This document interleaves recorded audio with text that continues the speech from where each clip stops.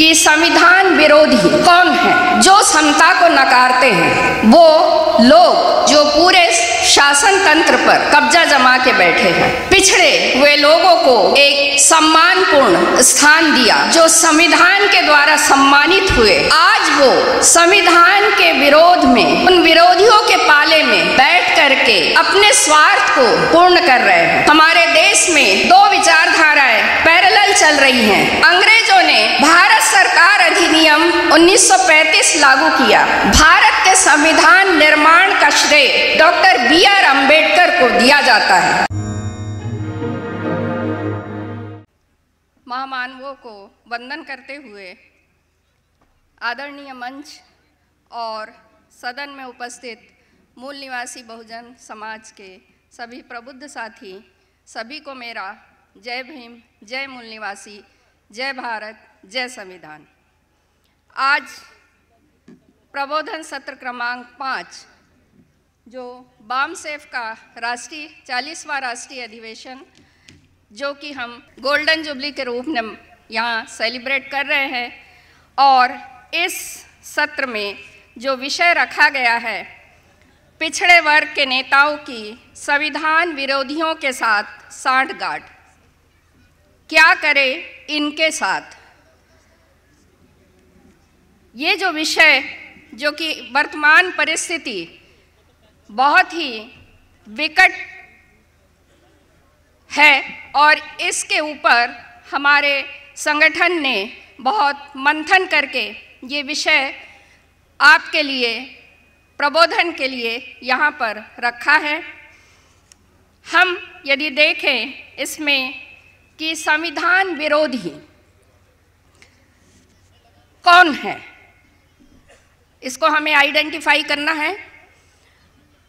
जो समता को नकारते हैं, वो लोग जो पूरे शासन तंत्र पर कब्जा जमा के बैठे हैं, ऐसे संविधान विरोधी और दूसरा पक्ष है पिछड़ा वर्ग। संविधान ने आर्टिकल पंद्रह चार और सोलह चार में शैक्षणिक और सामाजिक रूप से पिछड़े हुए लोगों को एक सम्मानपूर्ण स्थान दिया, जिन्हें बैकवर्ड क्लास ऑफ़ सिटीजन कहा। वही जो संविधान के द्वारा सम्मानित हुए, आज वो संविधान के विरोध में, उन विरोधियों के पाले में बैठ करके अपने स्वार्थ को पूर्ण कर रहे हैं। जो संविधान विरोधी है, जो समता को नकारते हैं मतलब हमारे देश में दो विचारधाराएँ पैरेलल चल रही हैं। एक यथास्थितिवादी और दूसरी परिवर्तनवादी। यथास्थितिवादी जो विचारधारा है, जब संविधान लागू नहीं हुआ था, उसके पूर्व इस देश में कैसा शासन था, ये हमें पता है। राजनैतिक और आर्थिक क्षेत्र में अंग्रेज़ों का शासन था। लेकिन सामाजिक और आर्थिक क्षेत्र में मनुस्मृति का दंड विधान था। जब अंग्रेज़ों द्वारा सत्ता का हस्तांतरण किया गया तो ये सत्ता इन ब्राह्मणवादियों के हाथों में आई और उन्हें लगा कि हम फिर से इस भारत के मूल निवासियों को मनुस्मृति के दंड विधान से उन्हें दंडित करेंगे। लेकिन अंग्रेज़ों ने भारत सरकार अधिनियम 1935 लागू किया और उस नियम के अंतर्गत भारत के संविधान निर्माण का श्रेय डॉक्टर बी आर अंबेडकर को दिया जाता है, जो कि मनुस्मृति के अनुसार चौथे वर्ण में आते हैं। तो भारत का जो संविधान है 26 नवंबर सन उन्नीस सौ उनचास को अधिनियमित किया गया। इसके एक दिन पूर्व 25 नवंबर सन उन्नीस सौ उनचास को संविधान सभा में बाबा साहब ने एक संदेश दिया था। संविधान चाहे जितना भी अच्छा हो, वह बुरा साबित हो सकता है। यदि उसका अमल करने वाले लोग बुरे होंगे संविधान चाहे जितना बुरा हो सकता है, वह अच्छा साबित हो सकता है यदि उसका पालन करने वाले लोग अच्छे होंगे। ठीक इसके पाँच दिन बाद 30 नवंबर सन उन्नीस सौ उनचास को आरएसएस के मुख्य पत्र ऑर्गेनाइजर, उसमें संविधान के विरोध में एक संपादकीय छापा गया। और उसमें कहा गया कि ये जो भारत का संविधान है, उसमें भारतीय जैसा कुछ भी नहीं है, क्योंकि इसमें मनु का दंड विधान शामिल नहीं किया गया है। संविधान के अनुच्छेद तेरह ने मनु के दंड विधान को खत्म कर दिया, और जो ब्राह्मणों की श्रेष्ठता थी, उसके गुरूर को भी नष्ट कर दिया। तो इन्हें तकलीफ़ होना वाजिब है कि जो वर्चस्व उन्होंने संविधान लागू होने के पहले तक इस देश पर बनाए रखा था, वो वर्चस्व संविधान के लागू होते ही वो धड़ाम से वो ज़मीन पर गिर गए। और इस तरह से जो है 26 जनवरी सन 1950 को भारत एक लोकतांत्रिक गणराज्य बनने की राह पर अग्रसर हो गया। उन्नीस सौ इक्यावन में से लेकर 1950 और जो इक्यावन वाला समय है, उससे लेकर के वर्तमान तक देश में संविधान विरोधियों का ही इस देश पर कब्जा है। शासन सत्ता पर उन्होंने कब्जा जमाया हुआ है और समय समय पर ये संविधान विरोधी अपने मंसूबे ज़ाहिर करते रहते हैं।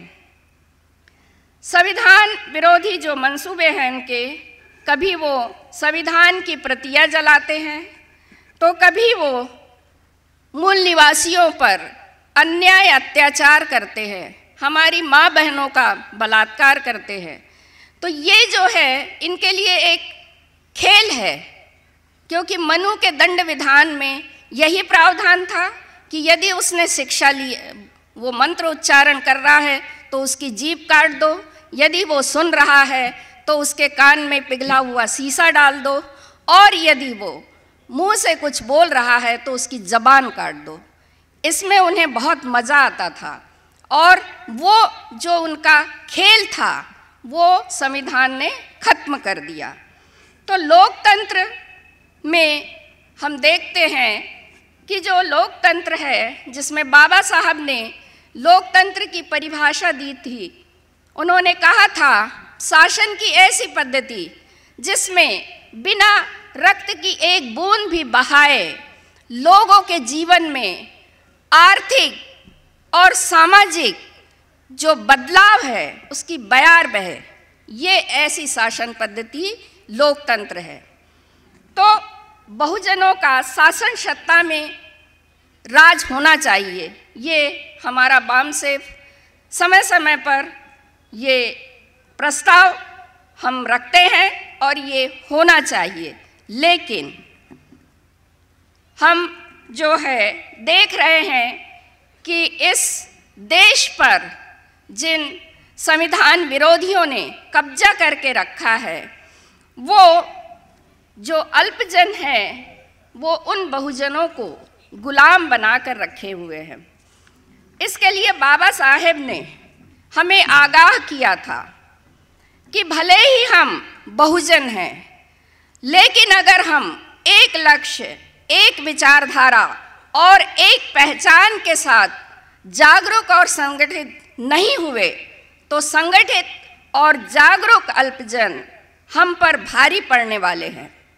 और conscious and determined minority always creates conditions in its favour over an amorphous and ignorant majority लक्ष्यहीन, असंगठित और गैर जागरूक बहुजनों के ऊपर जागरूक और दृढ़ संकल्पित अल्पजन परिस्थितियाँ हमेशा अपने पक्ष में पैदा कर लेते हैं।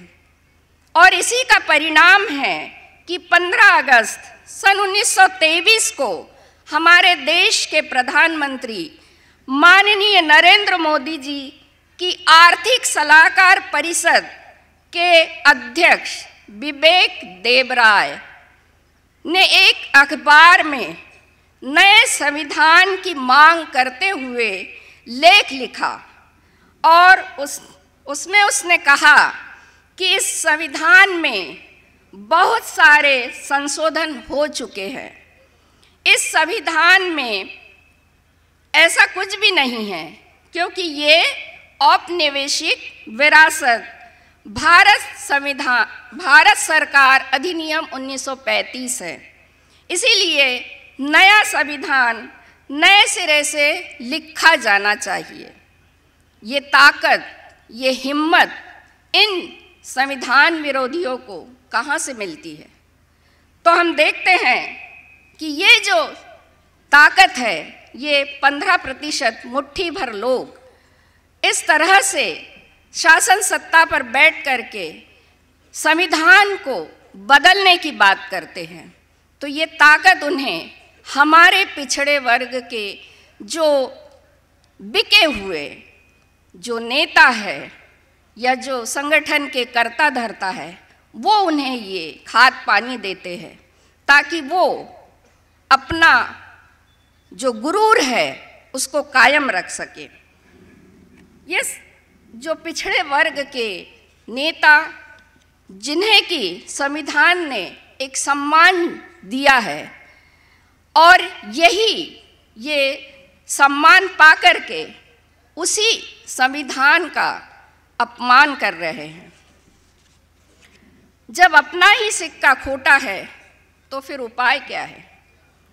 पूना से पैदा हुए, जिन्होंने कभी भी समाज की परवाह नहीं की। बाबा साहब को चुनाव में हराने वाले मिस्टर काजलोरकर बाबा साहब के पास गए चुनाव जीतने के बाद। उन्होंने बाबा साहब से आशीर्वाद लिया। तो बाबा साहब ने कहा कि अब तुम तो चुनाव जीत गए हो, मुझे हरा दिया तो अब क्या करने वाले हो? तो उसने कहा कि मैं पार्टी जो आदेश देगी वो करूँगा। चुनकर गए समाज की सीट से और वो काम करेंगे पार्टी के दलालों का, दलाली का। तो इस तरह के दलाल पूना पेट से पैदा हुए हैं और इन्हें न तो पद की गरिमा का एहसास होता है और न ही इनको जो, वो जो अधिकार मिला है, उसको वो समझ पा रहे हैं। सिर्फ़ ये अपने आका जो ब्राह्मणवादी शक्तियाँ हैं, उनके इशारों पर नाचते हैं, उनकी कठपुतली का काम करते हैं। मनुवादी पल प्रतिपल, प्रतिक्षण, संविधान के विरोध में षड्यंत्र रचते जा रहे हैं और उसमें पिछड़ों को फंसाने के जाल बुनते जाते हैं।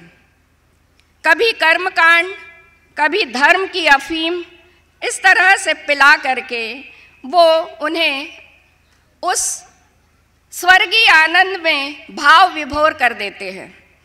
और जो पिछड़े वर्ग की जो पार्टियाँ हैं, जो संगठन के पदाधिकारी हैं, उनमें ये ब्राह्मणवादी हमेशा घुसपैठ कर लेते हैं।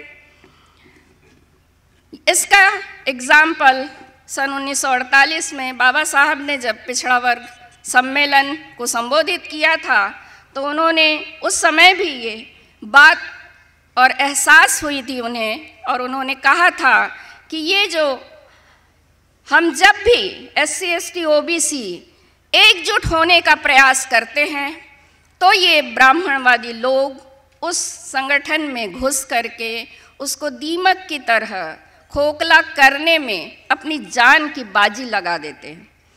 तो ये इस तरह से जो है, ये ब्राह्मणवादी अपना काम बहुत ही शिद्दत से करता है।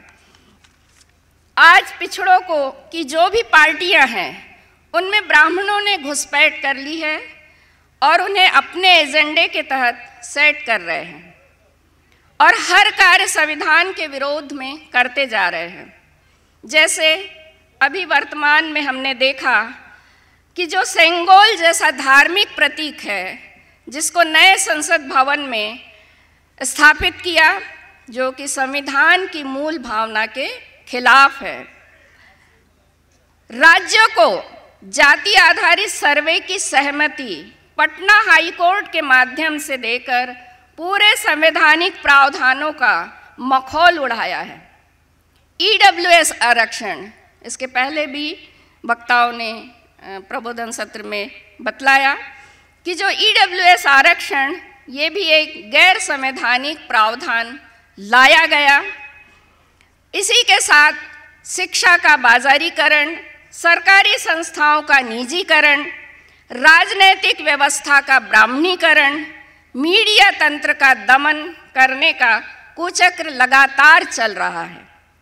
और देश के प्रधानमंत्री के जो सलाहकार है, वो संविधान बदलने की दलील से पूरा देश स्तब्ध है। जिस प्रधानमंत्री ने संविधान की शपथ लेकर देश के नागरिकों के हित में हित के लिए उन्होंने ये जो है शपथ ली थी तो वो उन्हीं के संरक्षण में इस तरह की जो बातें हैं, वो कर रहे हैं। लेकिन ये जो पिछड़े समाज की जो पार्टियाँ हैं, उन्होंने अपने स्वार्थ के लिए छोटी छोटी पार्टियाँ बना ली है, जिसमें परिवारवाद है सुप्रीमोवाद है और ये मूल निवासी बहुजनों के संवैधानिक हितों से इन्हें कोई मतलब नहीं है और न ही इनके लाभ से या लाभ हानि से इनको कोई मतलब नहीं है। न ही हमारे जो महामानव है, जिन्होंने इस देश को बनाने में अपना पूरा जीवन लगा दिया उनकी भी उन्हें कोई परवाह नहीं है। तो ये जो छोटा सा जो तुच्छ स्वार्थ है, व्यक्तिगत स्वार्थ है, पारिवारिक स्वार्थ है इन लोगों का, इस स्वार्थ के तहत ये लोग इनको बस एक विधायक बन जाए या इनके परिवार का कोई मंत्री बन जाए, उसका पद हासिल हो जाए तो इसके लिए ये जो है समझौता करते हैं और उनको मज़बूत बनाते हैं। तभी उन्हें ये ताकत मिलती है कि वो खुलेआम संविधान को बदलने की बात करते हैं। ये लोकतंत्र की बजाय तानाशाही और संविधान की बजाय मनुस्मृत का विधान, समता की बजाय देश में सामाजिक विषमता और आर्थिक विषमता को बढ़ावा दे रहे हैं। ऐसे नेता और संगठन के साथ हमारे मूल निवासी बहुजन समाज को कैसे निपटना है, इसके लिए सम्मानित वक्तागण हमारे बीच में हैं और मुझे उम्मीद है कि इस विषय पर चर्चा से हमारे सामने एक समाधान प्रस्तुत होगा और उसका समाधान का मार्ग प्रस्तुत हो करके हम उस पर चिंतन मनन करेंगे। तो मैं कहना चाहूँगी कि कौन कहता है, आसमां में सुराख नहीं होता? कौन कहता है, आसमां में सुराख नहीं होता? एक पत्थर तो तबीयत से उछालो यारो। जय भीम, जय मूल निवासी, जय भारत, जय संविधान। एमएनटी न्यूज़ नेटवर्क को सब्सक्राइब करें लाइक और फॉलो करना ना भूले। साथ ही बेल आइकॉन दबाकर जनजागृति की मुहिम में जुड़े रहें।